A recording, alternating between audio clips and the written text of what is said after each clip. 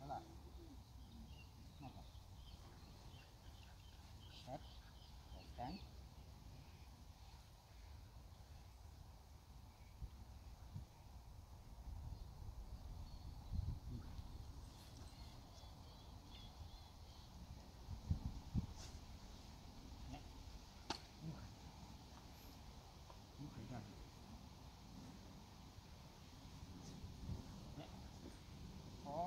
on the koleżanko.